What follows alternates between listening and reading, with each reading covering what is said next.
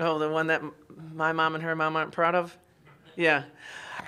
Listen, you know, ah, God, if you know Des, she is so respectful. She comes from an amazing family.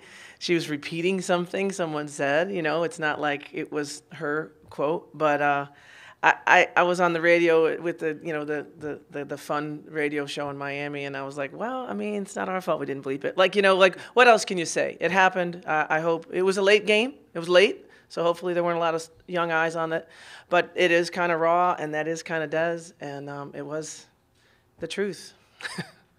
I mean, everybody have comments on it, but that's just something that I slipped up on, but it won't happen again.